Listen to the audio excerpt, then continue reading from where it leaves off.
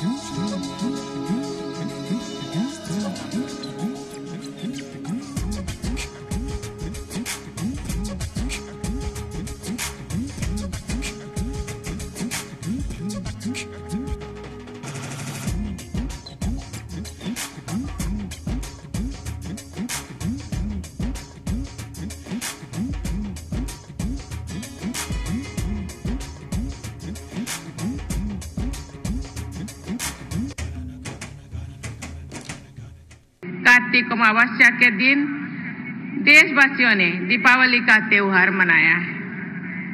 दीपावली की रात को सभी लोग अपने घरों में, मंदिरों के मंदिरों में दिए जलाते हैं।